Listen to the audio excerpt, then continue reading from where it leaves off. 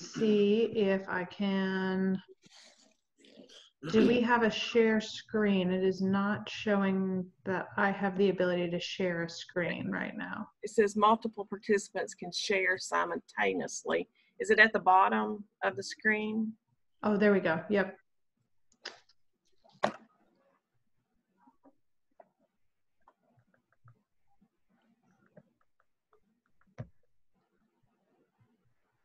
There we go. All right. So let me.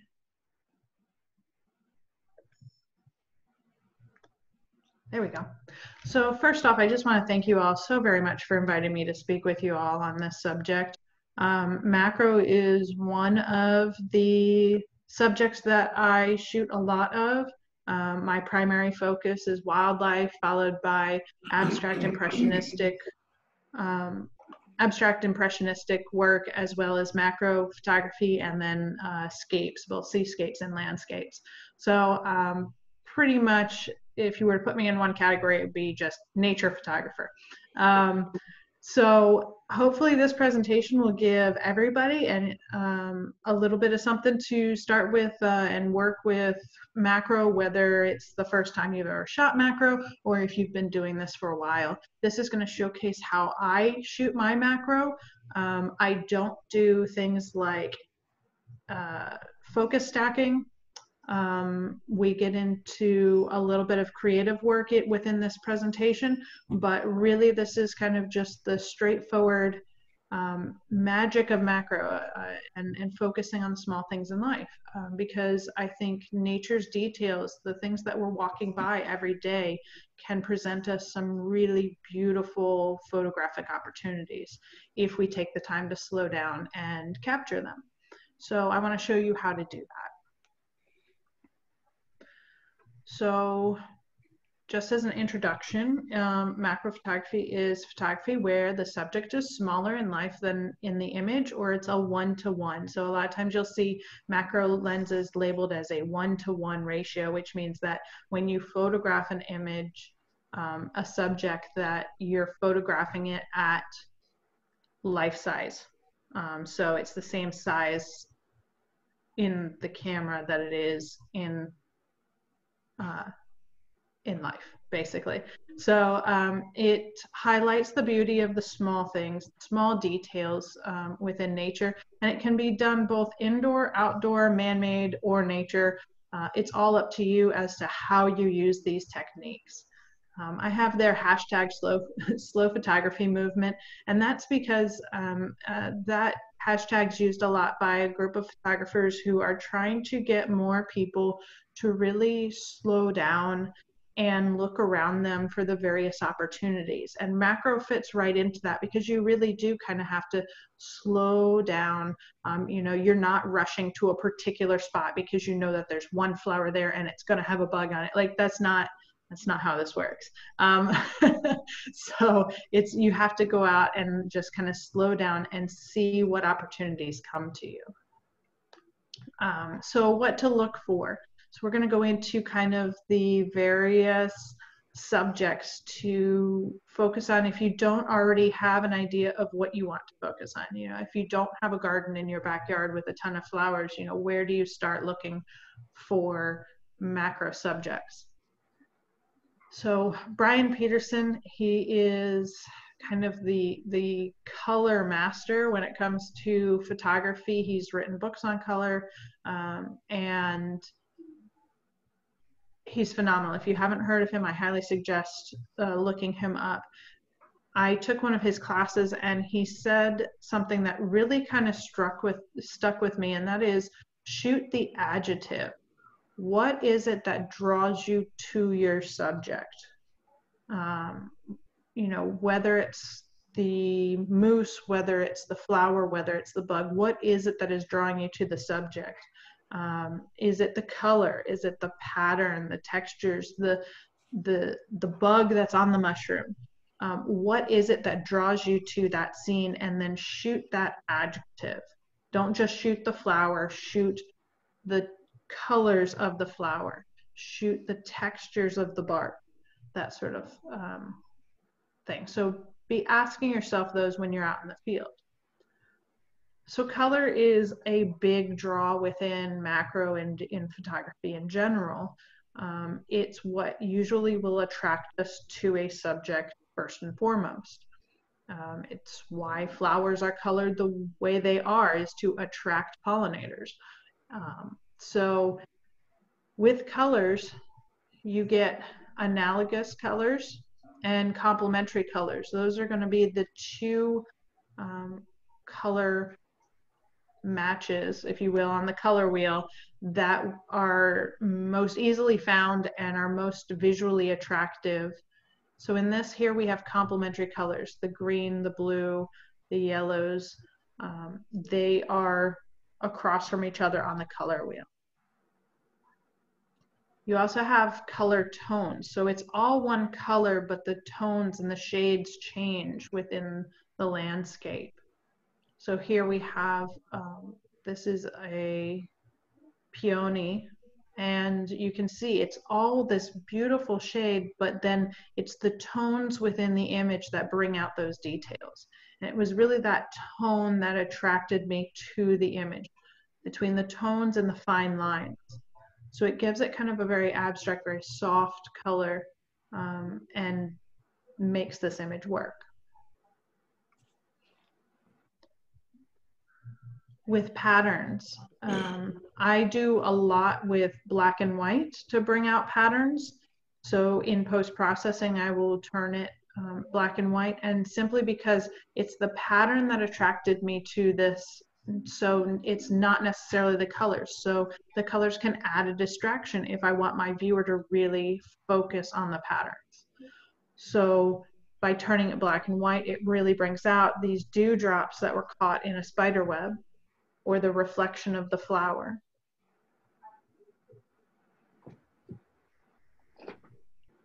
Here we also have patterns, and these are shot using a very uh, small aperture.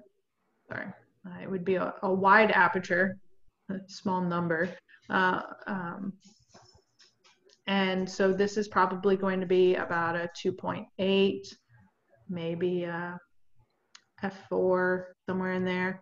Um, but to really kind of focus on the pattern that these individual types of spines from three different cactus give. So you have an element of color here, but you also have the patterns and the variance within the pattern.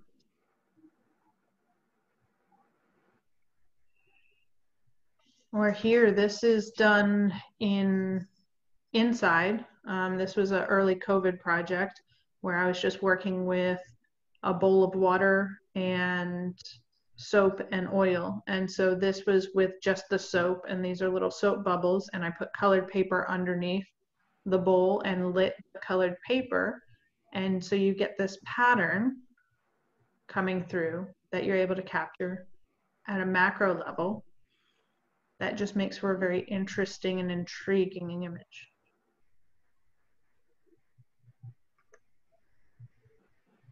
You can also look for the details. So is it the, the pistil and stamen of a flower? Or this top image here, that's the tongue in an orchid. So the little tongue that sticks out of the orchid flower, capturing that small detail of the flower. Here we have a dewdrop on a leaf. This is a lupine, and the dewdrop after um, morning fog rolled through left the dewdrop there, capturing that small detail.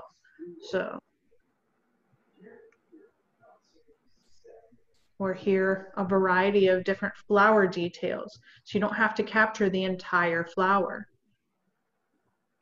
but it's just the detail. What draws you to it? Here we have a flower opening and you have all these beautiful little hairs, but you have that opening with that color popping out where you have the layers of flowers, this lower one, and of course the, the middle of the flower and all that beautiful detail with the pollen. Did you say what lens you use for your macro? So the lens I use for macro is the Tamron 90 millimeter macro lens. And I have used, so with these images here, these were taken with the Nikon 105 macro. The, the older version. Um, nowadays, though, I'm strictly the Tamron 90. It's a more up to date and sharper lens. So here, so this was inside, um, again, under, you know, artificial light, and we'll talk about light here in a moment, but, you know, capturing the detail of the, the droplets here on this succulent. And then looking for small life, um, you know, the birds, the butterflies, um, bees, dragonflies. And this takes a lot of patience to get macro, so you have to have some pretty cooperative subjects. But it can make for some absolutely beautiful images if you use that macro to capture the small bits of life. And it doesn't have to be just close ups, just portraits. You can have them here where you have this beetle going into the flower or the ants coming in and out of the flower. Or even doing some portrait work with lizards.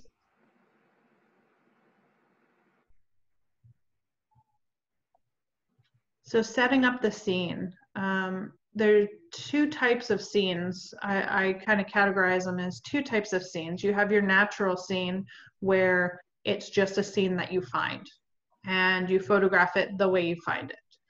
Um, and then you have your curated, which is going to be either your indoor setup or if you have an outdoor area, you know, a garden, and you're able to really kind of manicure it and move things about, get them just the way you want. That's more of a curated scene. And there's nothing wrong with either one. It's just there there's two types of scenes that you want to be looking for. So a curated scene, this is where us, this is one of a series I did during COVID of dandelion dancers and using dandelion seeds I had picked up while walking my dogs and bringing them back into my house and setting up something on my kitchen table so that I could photograph these dandelion seeds, imagining that they are dancers performing on a stage. Um, Whereas the natural one, I had to warn my neighbors that I might be out and about in the neighborhood um, because they might come out in the morning to get their morning newspaper and find me lying on the sidewalk. And no, I was okay. Don't call the ambulance, please. But, um, you know, the morning dew on the grass, I captured this image by laying down on the sidewalk. And I just happened to be out for a morning walk because with my camera, that's what I was doing. Um, and I was able to find this tiny dewdrop that looked like it was just about to roll off this blade of grass. Um, and then to, you know, kind of add the, the cherry on the top, I had an additional dewdrop in the back that got blurred out and created this other orb in the background. Um, and that was just, that was luck.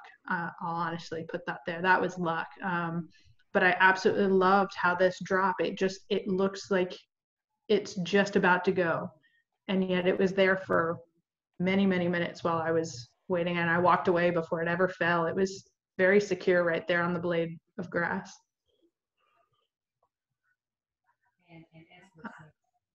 so here this is a technique that I use a lot because I really like with the macro making it very soft and very airy. Um, because not you know when you're shooting close to the ground in the grass or in a bush you know it's a there's a lot of crunchy textures. And i like to highlight my subjects by just making it very soft very creamy.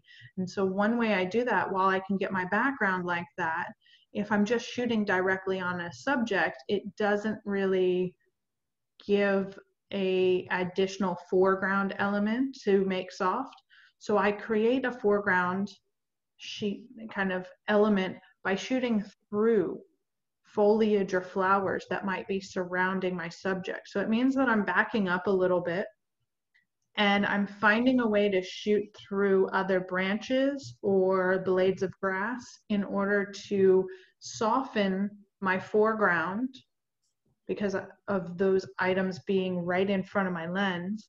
So I'm shooting through those but my I do a selective focus point right on my subject. So whether it's like in these instances, my subjects are the flower, but I'm shooting through foliage in front, and then the foliage behind them also blurs out. So it creates this very soft and airy texture around my subject. So talking a bit about light. Um, so open shade is probably to me the best light you can shoot in for natural macro. And this was taken midday, bright sunny day, but what I did was I placed myself directly over this poppy in order to cast my shadow onto it. And then I was able to shoot directly down into the flower. overcast and rainy days, obviously those are really great, especially if you're wanting to work with dewdrops, with raindrops coming down. Uh, also with the overcast, the clouds create a natural diffuser, so you don't have really hot highlights when it comes to lighting. But just if, if you have bright sun, it doesn't mean that you shouldn't try and do macro either. You just have to be careful of your highlights, such, you know, both in a traditional sense, but also in the color gamuts because macro is done a lot with colors, um, with your reds, your yellows, your oranges, and flowers. Those particular color channels can blow out easily as well, and they don't necessarily show up on your histogram unless you actually are showing all your color histograms. Um, so it's something to be aware of if you're shooting in bright sun. And then we have controlled or directed light. So this would be more like your setup in the studio. Um, or when I talk about directed light, I'm talking about, okay, you have some tulips in a pot in your window and you're able to turn the pot so you're directing the light as it comes through in a way that you want to present in your image. So let me go back here real quick. So that's what these two first two images are. They're directed light on tulips that I had sitting in a window. And then this third one, the bubbles, that's oil and water, much like I described in the earlier image. And so my directed light is actually a flashlight being used from underneath the bowl. So I'm able to control all the light in these images.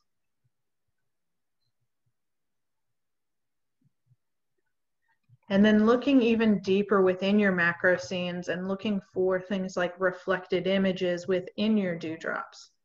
So here we had a tulip. I had the dewdrop on the tulip and then it's reflecting a tulip that was behind it.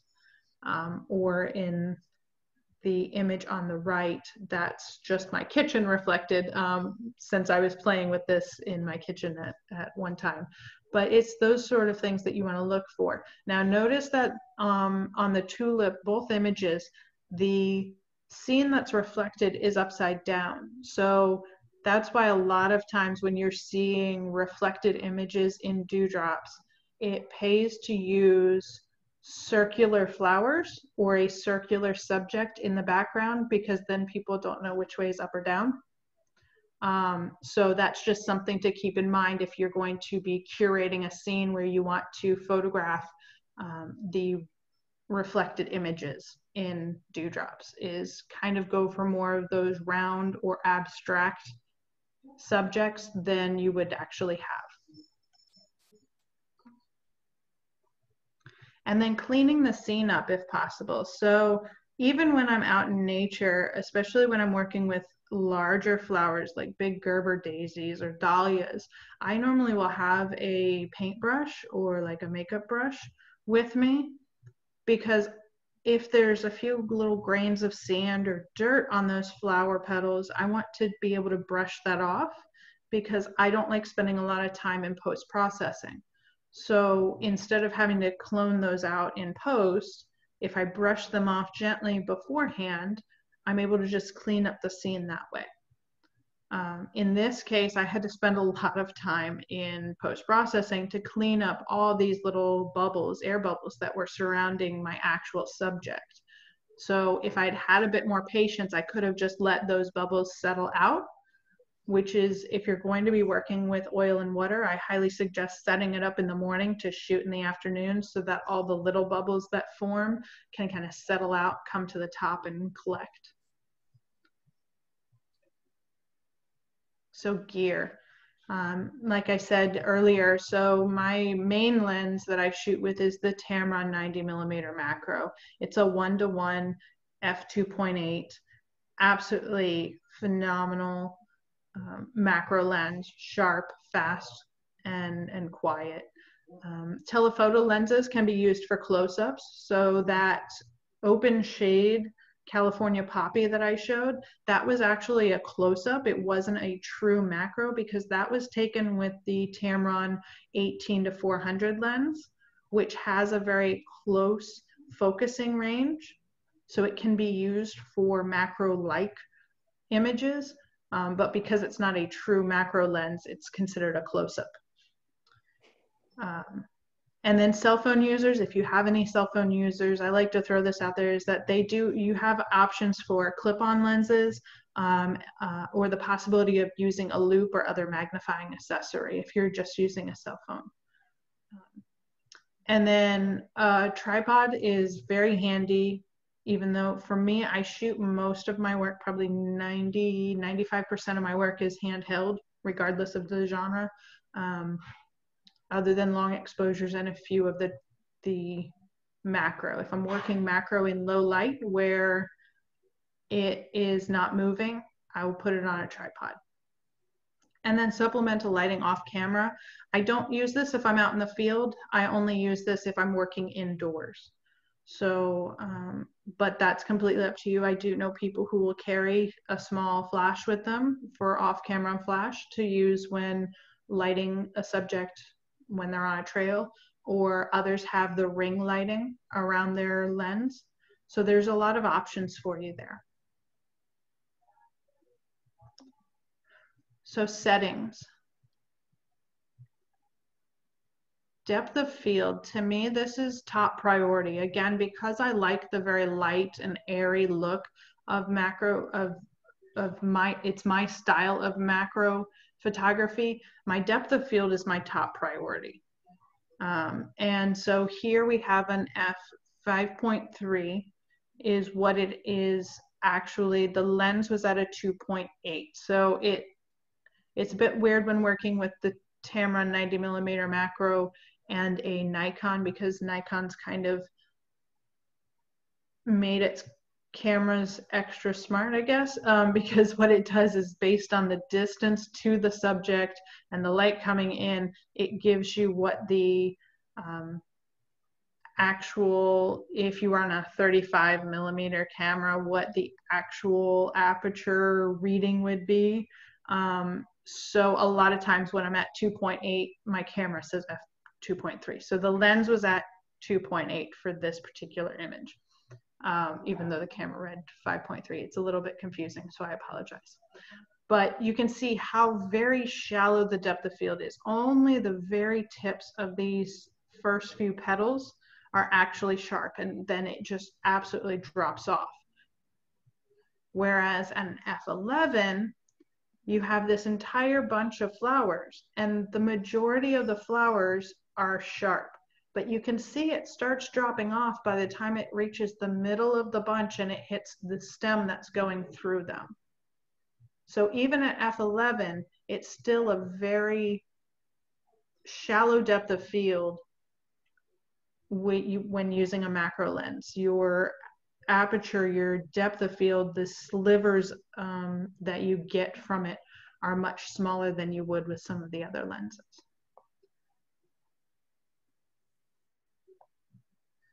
And then as I mentioned before, also, I use a single point of focus. So in these images, I would have focused directly on the little white flower. And that allows me to shoot through vegetation and blur the vegetation that's in front of my lens and focus directly on that flower that's a little bit further away. Or here, I wanted to focus in a bit to give more bring my subject and bring the viewer's eye into the frame. I didn't want the flowers right on the edge to be sharp. So I wanted to focus slightly into the frame using that shallow depth of field. So I was able to make that particular flower sharp and the rest kind of drift off. So here we have, I've focused on the dewdrop itself. And so the sharpest point is actually the reflections in the dewdrop. And then everything drops off. Or here, the very tip of the petal drops and then everything else drops off.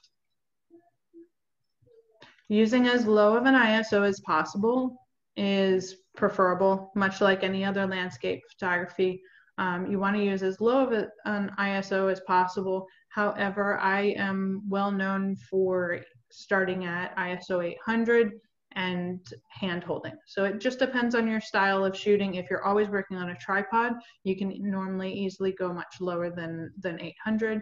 Um, if you're hand holding and it's lower light, you might need um, a higher ISO.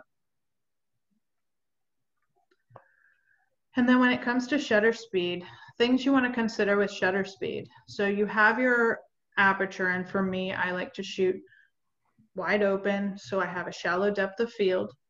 So you have your shallow depth of field, you set your ISO up.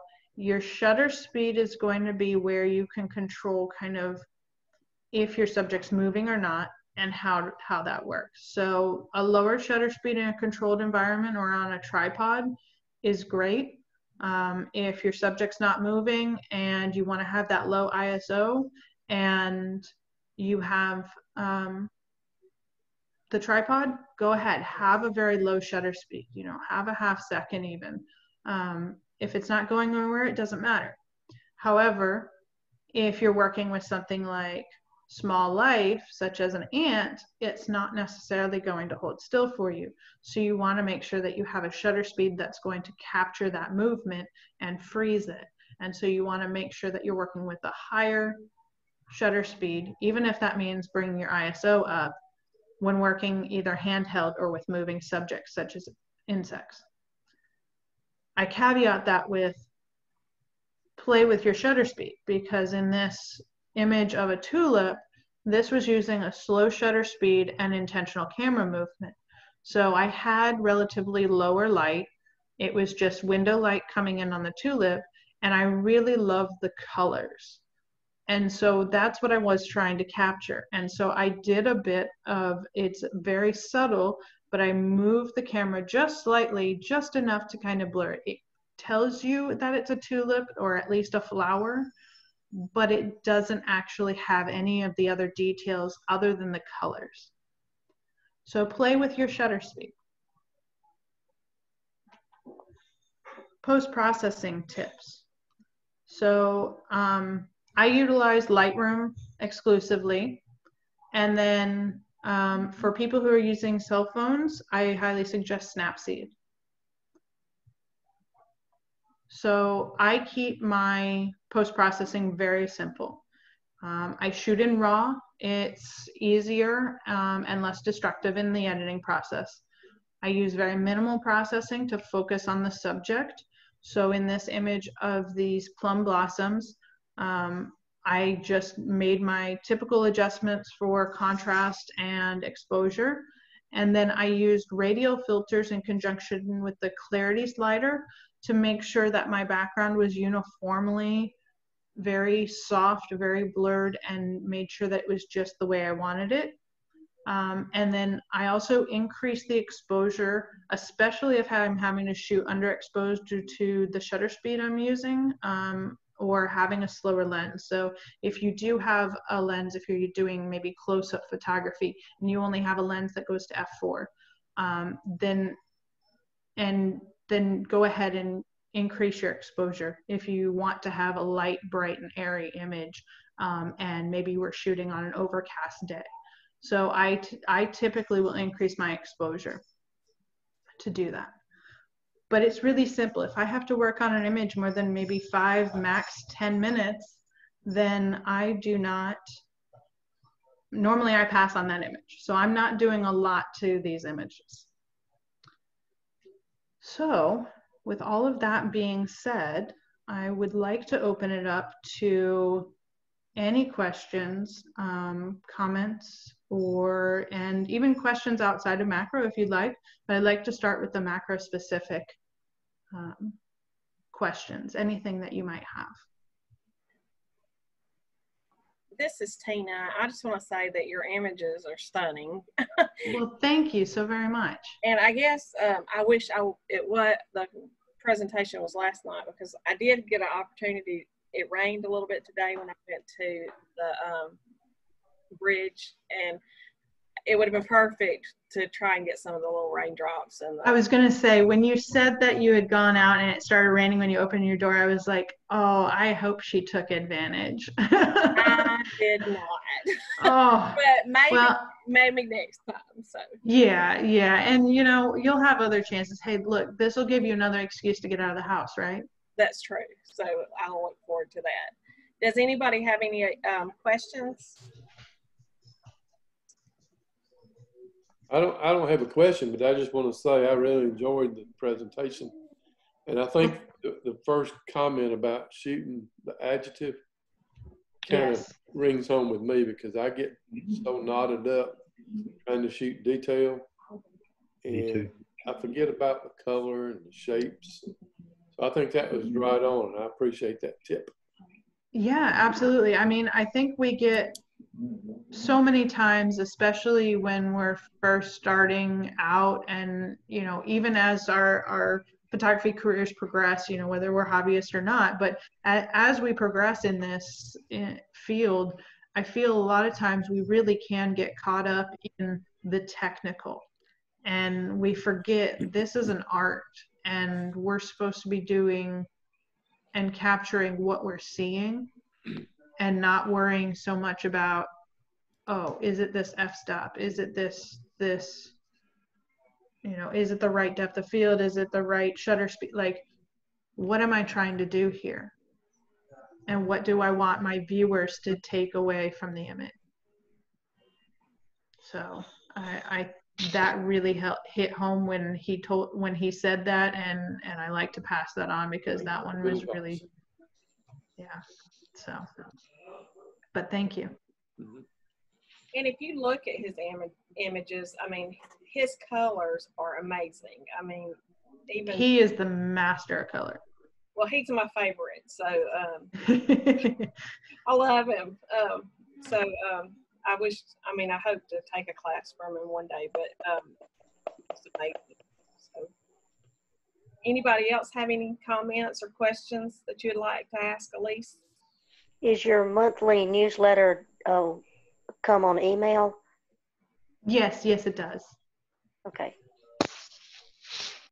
And we'll post that on our website as well, so um, folks can sign up for that. Um, we do appreciate you joining us um, tonight and um, going over the macro. And I know you have several other subjects, so we would like to welcome you back at another time as well. Um, yeah, absolutely. Absolutely. And I, I will get with you on that um, as well. So, um, so if anybody doesn't have any extra questions uh, or any additional questions, does somebody have a question? Uh, yes, I was looking at all your images. I enjoy that type, and I find all your images very pretty. Uh, pretty, I guess. Anyway, maybe that's not the right word. But I'll take it. I, I love hearing that they're pretty. So I also enjoy the close up images like you take. And I have started at once in a while anyway using the Lensbaby Velvet series. yes. 56. Have you ever used that? It seems to me many of your images almost have that look. It's a little different, but if you I know I, you're a Tamron rep, sort of, or whatever it is. So, are you even allowed to? Have you ever used them? Do you enjoy them? You know, what is your take on those? I have not used them, and I will honestly say I've been using Tamron for near on 10 years um, and i only became an ambassador this past spring um, for them Um, I love their lenses, even if I wasn't one of their ambassadors. Oh, I have not shot with the Lensbaby Velvets. However, Anne Belmont does amazing, amazing floral work, um, macro work with the Lensbabies. Um, and I love her stuff. Um, and I like that style. Um, I just don't shoot with those lenses. So I found kind of a similar, you know, a similar style that I enjoy doing. Um, but Okay. I've heard wonderful things about those lenses. I've, I've had fun. And what do you consider a dis, the distance between close up and macro? I know you can get real close, and but at what point is do you change the term? Does that make sense? So, from my understanding, basically the term is changed when you're using a dedicated macro lens Mm-hmm. or um, macro type like extension tubes, those Right. that are specific for macro, whereas close ups are going to be like those that you take with a longer lens, either a telephoto or if you have, you know, a 35 millimeter that gets close, that has the focusing distance close, but it's not technically a macro, then it's considered a close up.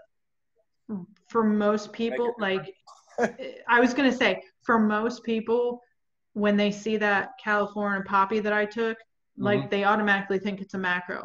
I have to define it as a close up because I know what lens I took it with. Um, so it's really up to you in in all honesty. Um, now, if you have you know one flower and it's like you know it's kind of obvious that you took it with a 50 millimeter and you've got a lot of border around it, then maybe that's not a macro. Uh, Right, a, a macro yeah um, but when it gets down to that nitty gritty if you have a lens that has a very small focal distance and you're able to get in and get those details Who cares? unless yeah unless you're entering a contest or or entering some sort of uh, you know putting together an article or something and you're talking about macro lenses and maybe just use images that you've actually taken with macro lenses. but otherwise we're again we're in it for the art these are tools the lenses are tools um, really it's a matter of the final product okay, thank you. yeah And if no one else has anything, I've got one more question. Earlier, you said something about uh, you shot with a Nikon. Is that correct? yes yeah Okay. Well, I do also, but anyway, and you had the f the aperture set at five three, and you said something, but it was really at two eight. I misunderstood. Well, all of that, I guess you could say. Uh, can you can you kind of tell me what your what what you said? So I think the easiest way to understand it is when we say a lens is, say, uh, a 105, but we're putting it on a crop sensor, it's actually Right. the the actual outcome that image is actually a longer than what it would be if it was 35 basically this is doing something very similar with the aperture so the lens is saying it's a 2.8 but then nikon's going it's not really a 2.8 it's a 5.3 because of the factors that factor into it and i'm not super technical on it i've just gotten asked about that because Canon cameras don't do that with this lens. Um, they'll tell you 2.8. It's only the Nikon lenses that, for some reason, are doing this disconnect um, and and putting it out there. So um, yeah, so that that's probably the easiest way to understand it. Is it's just like it, it's giving you the reading that it would uh, for the output um, versus what the actual lens is reading at the 2.8. It can, yes. Uh, this is Lloyd. Uh, uh, back in the old old days when I was a puppy and you were shooting with view cameras, uh, you have a thing called bellows draw, and at one to one you lose two f stops. So the actual aperture of that two eight lens at one to one would be f five six. So you were probably pretty close to one to one. And apparently the Nikon reads the actual aperture instead of Yes. Yes, that's what it is. Thank you so very much, Yeah. Lloyd. like, I just know there's a disconnect there. I know there's a reason for it, but I can't tell you in technical terms. well in my previous life I did a lot of macro and micro. Uh, oh, uh, wow. photomicrography. Uh, I retired metallurgist, so Oh, wow. uh, nice. um, you know, and um, so I had to get into all that with that. But your work's great. It's beautiful. Thank you I so love very much. I love the uh, shallow depth of field. I'm I'm going to throw my Helicon focus away now. yeah i mean and and like i said it's not for everybody there's quite a few people who when they shoot macro they want everything and so they'll they'll stack their images but for me i really like the more light and airy and really bringing out particular details in a scene versus having every detail seen Well, I think that helps me because I'm kind of still what they consider learning and new. So when I hear stacking and you know focus stacking, and they took a picture of this petal and then they moved it to the next petal, and then you know they combined like 200 images, and I mean I'm like, oh my gosh, I don't even want to even go there. So um, too much work yeah, it gives me hope. so um, I'm excited to get out and try it. Maybe tomorrow we're supposed to get some rain, so maybe I can find something to shoot. yeah absolutely absolutely So, so I'm excited. yeah Does anybody else have any questions?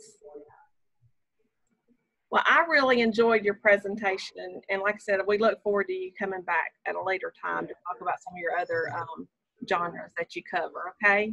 Absolutely. And just to let you all know, if you do, if you get out shooting and you're like, I didn't quite understand that, or I can't really remember that, or if you have a question, please feel free to reach out to me, um, you know, through my website, avenderphotography.com. You can just drop me a message and I'll get back to you just as soon as I can and try and answer your questions. So, um, you know, I'm basically I put it out there that once my student, always my student. So um, please reach out if you have any questions, want to chat about photography, whatever it is.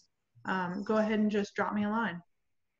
That sounds wonderful. Thank you very much. Okay. Thank you. Thank you so much. Y'all have a good night. Thank you. You Bye bye. Good seeing Thank all you. y'all. Y'all have a good night. All right.